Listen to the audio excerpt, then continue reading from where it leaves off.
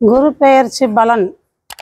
சித்திரை மாதம் பதினெட்டாம் தேதி ஒன்று அஞ்சு ரெண்டாயிரத்தி இருபத்தி நாலு புதன்கிழமை மாலை மணி ஐந்து இருபத்தி ஒன்றுக்கு கார்த்திகை நட்சத்திரம் ஒன்றாம் பாதம் மேச ராசியிலிருந்து கார்த்திகை நட்சத்திரம் ரெண்டாம் பாதம் ரிஷபராசிக்கு குரு பயிற்சியாகிறார் இவருடைய பார்வை அஞ்சு ஏழு ஒன்பதை பார்வை செய்கிறார். ரொம்ப விசேஷமானது.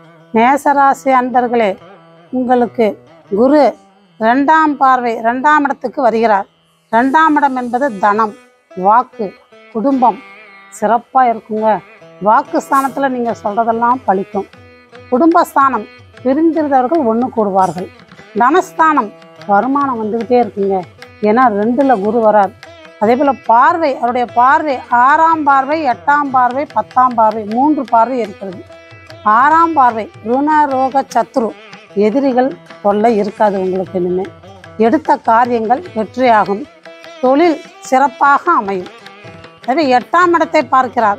எட்டாம் இடம் நடைபெறாதே இந்த காரியம் என்று சொல்லக்கூடிய காரியங்கள் கூட சீக்கிரம் நடைபெறுங்க. உடல்நிலையும் நல்லா இருக்கும். பத்தாம் இடத்தை பார்க்கிறார். தொழில் ஸ்தானம் தொழில் சிறக்கும். வெளிநாடு செல்லக்கூடிய யோகம் இந்த மேசராசிக்காரர்களுக்கு கண்டிப்பாக உண்டு. அருமையாக இருக்குங்க. ரிஷபராசி அன்பர்களே உங்களுக்கு ஜென்ம குருவாக வருகிறார். இவருடைய பார்வை ஐந்தாம் இடத்தை ஏழாம் இடத்தை ஒன்பதாம் இடத்தை மூன்று இடத்தையும் பார்க்குறார். ஜென்மகுரு வனவாசமாக இருக்குமே நினைக்கலாம்.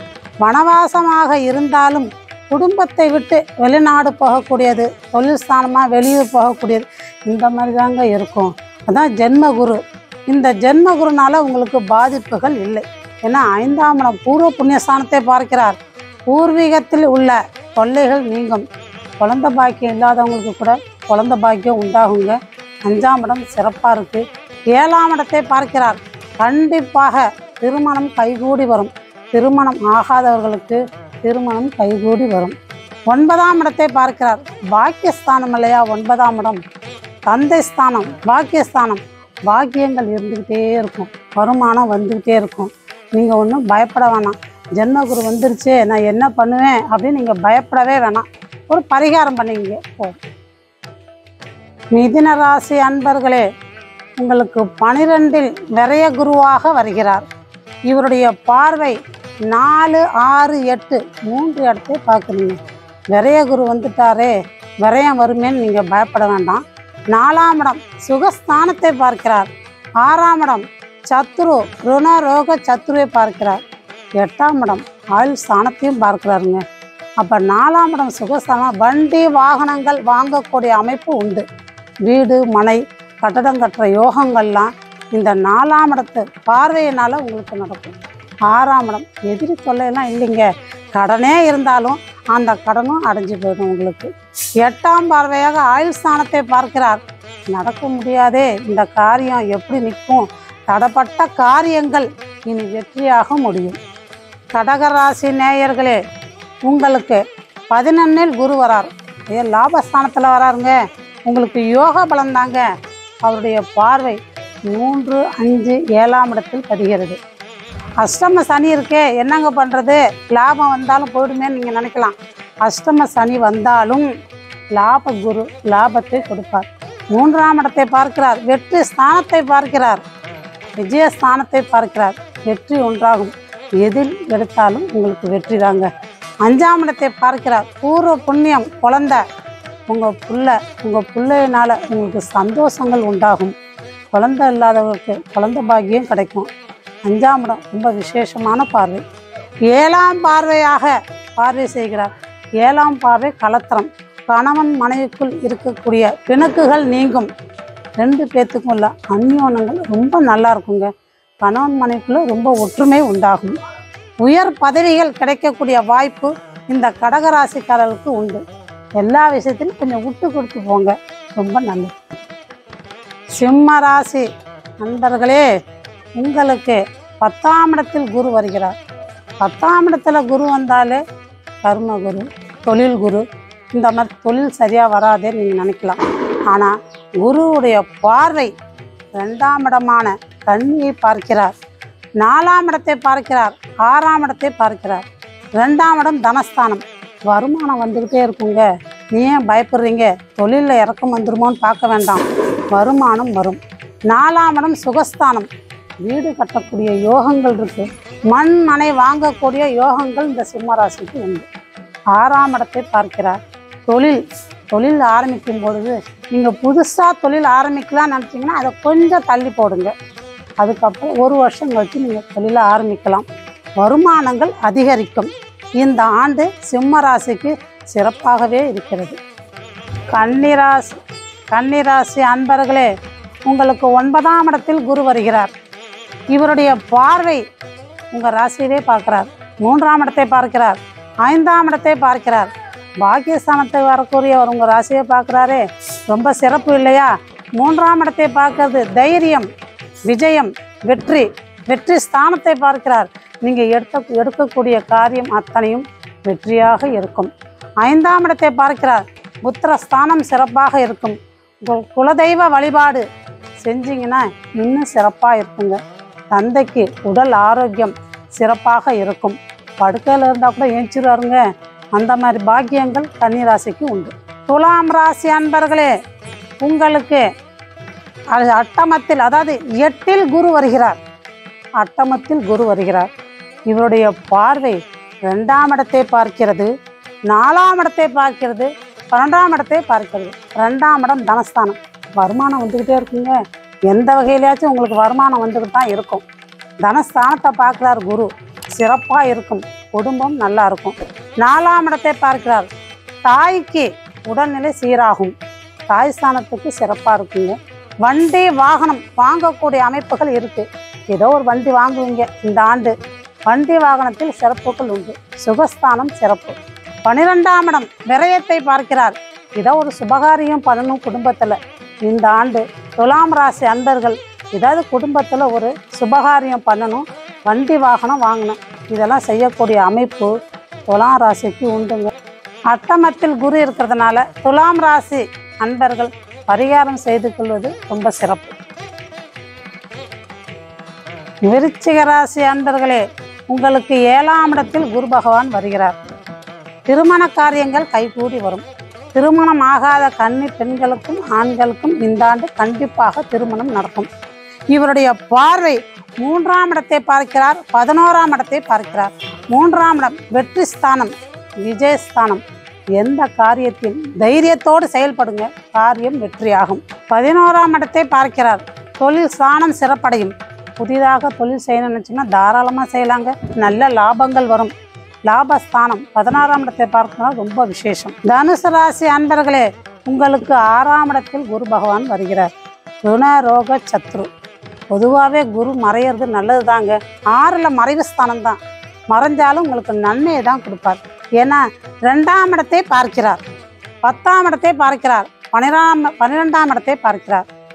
ரெண்டு பத்து பன்னிரெண்டு மூன்று இடத்தை பார்க்கிறார். தனஸ்தானத்தை பார்க்கிறார்.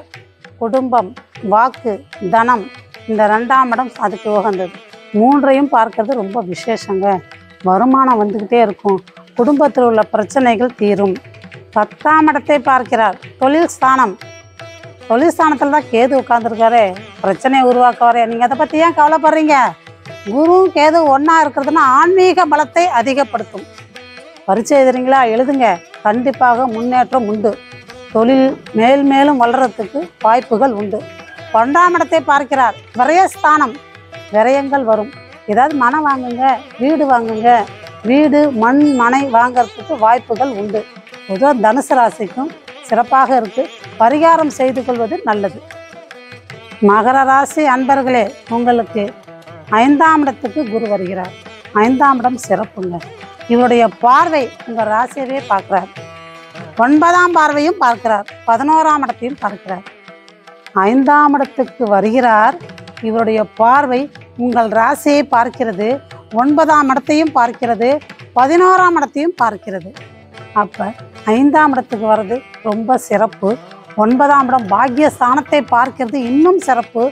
தந்தைக்கு உண்டான உடல்நிலை பாதிப்புகள் குறையும். குலதெய்வ வழிபாடு செய்வது நல்லது. பதினோராம் இடம் லாப ஸ்தானத்துக்கு வருகிறார். இதை வண்டி வாகனம் வாங்கக்கூடிய அமைப்புகள் இருக்குது மின்சார சாதனங்கள் மின்னணு சாதனங்கள் வாங்கக்கூடிய அமைப்பு இருக்குது வீட்டுக்கு உண்டான மின்சார சாதனங்கள் வாங்குறதுக்கு இந்த ராசிக்கு அமைப்பு உண்டுங்க. பொதுவாக மகர ராசிக்கு மிக மிக சிறப்பான பலன் இந்த குருவினால் கிடைக்கும். கும்பராசி அன்பர்களே உங்களுக்கு நாலாம் இடத்தில் குரு வருகிறார்.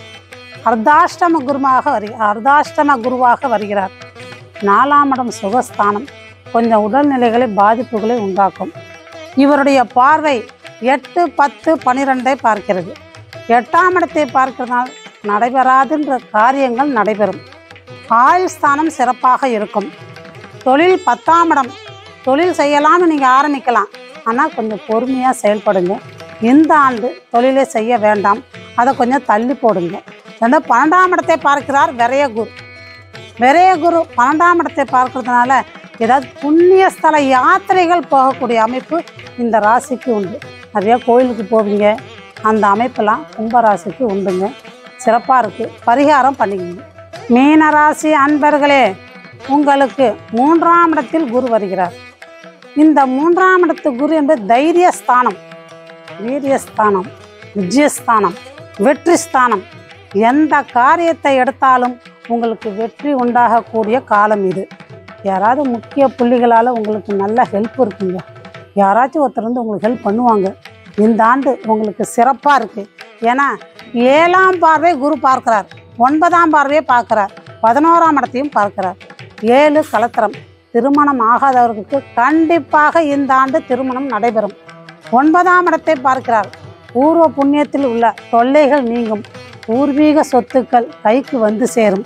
தந்தை வழி சொத்துக்கள் கைக்கு வந்து சேரும். தந்தைக்கு உள்ள உடல் நிலை சீராகும். நன்றாக இருக்கும். பதினோராம் இடத்தை பார்க்கிறார்.